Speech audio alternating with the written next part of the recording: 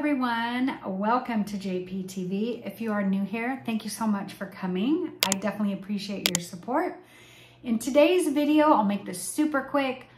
I am going to be covering all the different restaurants on the Discovery Princess cruise line.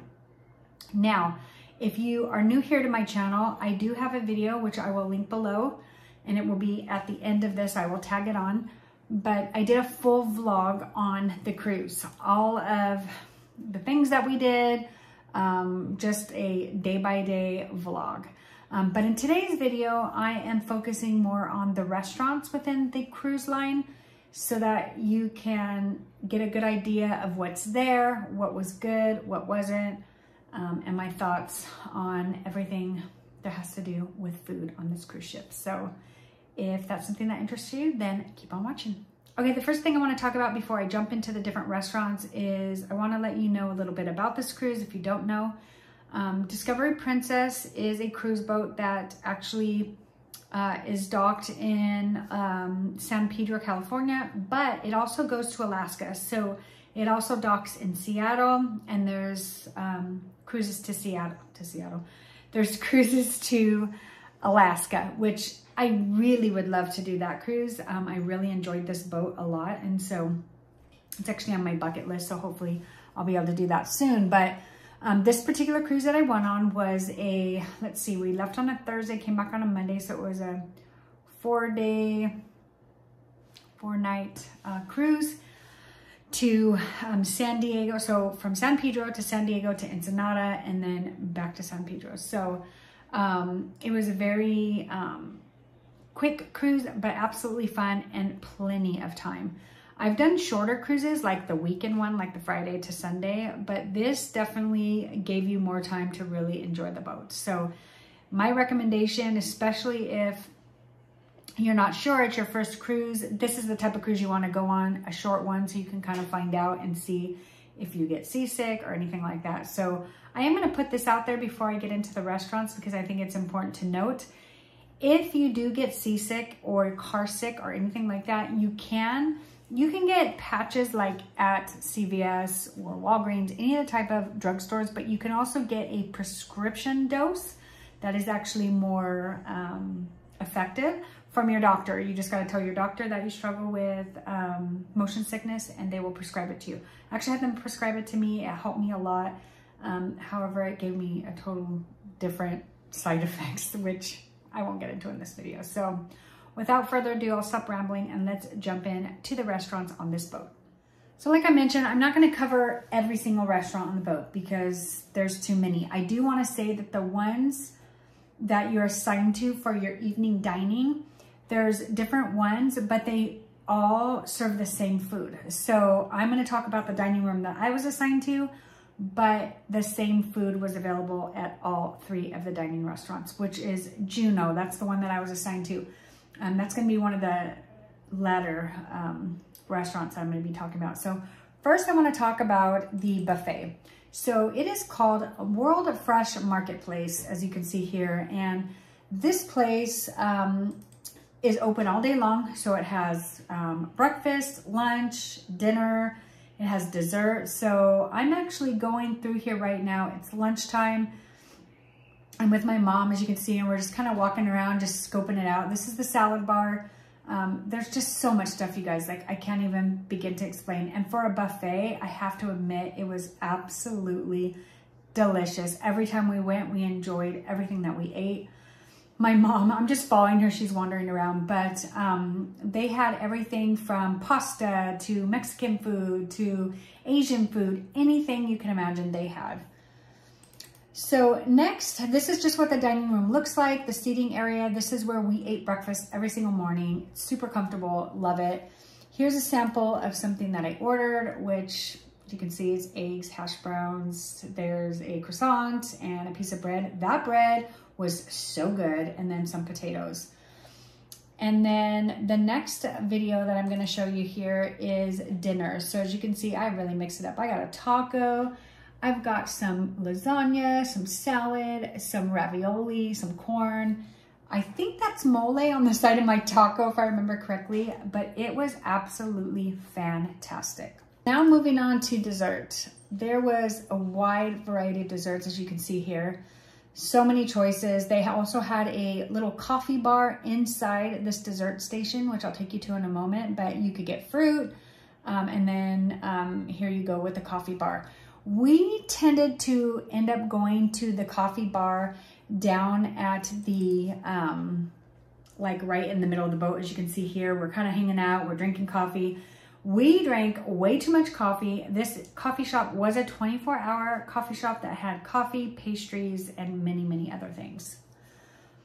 All right, the restaurant I'm gonna talk about next is the Gigi's Pizzeria. Gigi's Pizzeria is right here on, I think it was the main deck where the piazza is. Oh, it was right above. Okay, so as you can see here, we were up on the top. So it was like deck seven. I'm gonna have to look into that actually. I'll pop it up in the corner so you can see where it was at. But here's the menu, which I'm gonna show you next. There's so much that you can order. There's pasta, there's pizza, I mean, a wide variety. This is a specialty restaurant.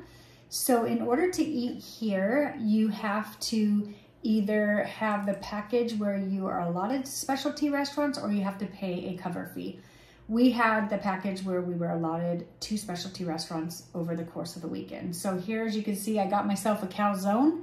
It was so good. I love calzones more than I love pizza. Okay, Ooh, what do we got going on here? So next, I'm gonna talk about the salty dog. So take a look at this. This is right by the pool. They have hamburgers, chicken sandwiches, they've got fish and chips, french fries, I mean, hot dogs, everything you can want and more. So it's Okay, next up is the Juno Dining Room. This was our sell away dinner. So as you can see here, there's a wide variety. There's appetizers, there's a main meal, there's pasta.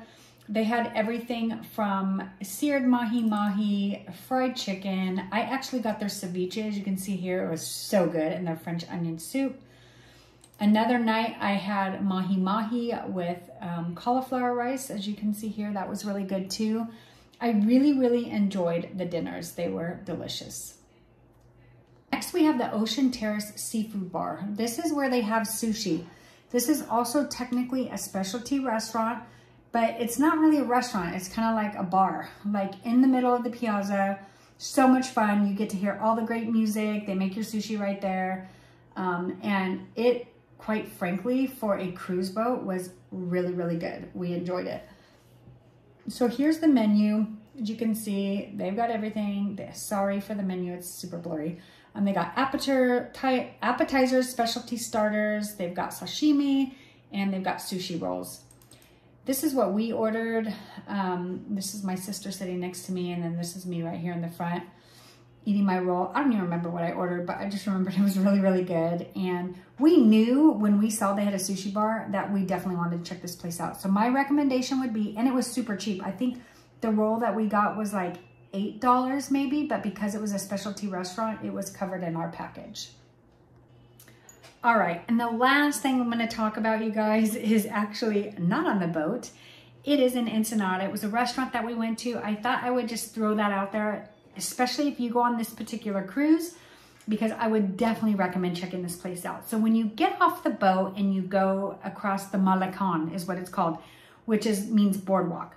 So when you go across their boardwalk, um, they have a whole bunch of restaurants. The one we actually went to, gosh, I remember what the top, what it was called on the top. Oh, here we go. As you can see here, it's Mariscos 646. Um, it was really good. We um, had great music. We could see the water on the other side of us. This place was really, really good. Here's what we ordered. I got some ceviche on a tostada.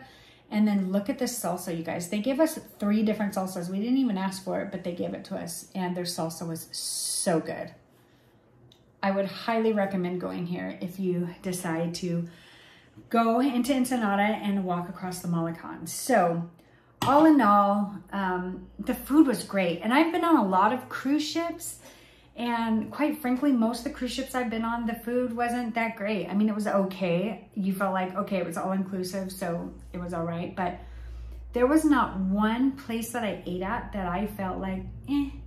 I mean, maybe one of the dinners I really liked my fish. I liked the ceviche, but it wasn't like what I would imagine ceviche. It wasn't lemony enough. Like for me, I like my ceviche like like soaking in lemon. And so on the cruise ship, the ceviche was okay. Now in Ensenada, the ceviche was fantastic, but on the cruise ship, it was just okay. But everything else was so good. I, you know, I got the drink package and we were talking after me and my niece and my sister and my mom and we're like, wait a minute, we didn't, we barely drank at all. I probably drink more right now doing this video than I did on the cruise ship and our drinks were included. And I'm not particularly sure why. I just, I just wasn't feeling it. We spent most of our time at the coffee shop. I think I got probably four to five coffees a day and it's all you can drink. Well, it's not all you can drink. You get like 13 drinks a day, which includes all your drinks. That includes your soda, your alcohol, or coffee. But most of our drinks were coffee. Um, so we found ourselves at the coffee shop quite often. Um, but all in all, we had a fantastic time. I would definitely recommend this cruise ship and this particular cruise. You know, it may not seem exciting, especially if you live in California, going to San Diego and Ensenada, but it wasn't where we went. It was the people. And that's what I have to say about vacations is that it's the people that you're with that make a vacation, not where you go, not what you're doing, but family. It is everything. So I hope you enjoyed this video. If you did, please like it and give it a thumbs up. And like I mentioned earlier, if you want to check out my vlog of the whole cruise, go ahead and stay tuned and it will show up at the end of this video. I hope you have a wonderful day and I'll see you in my next one. Cheers.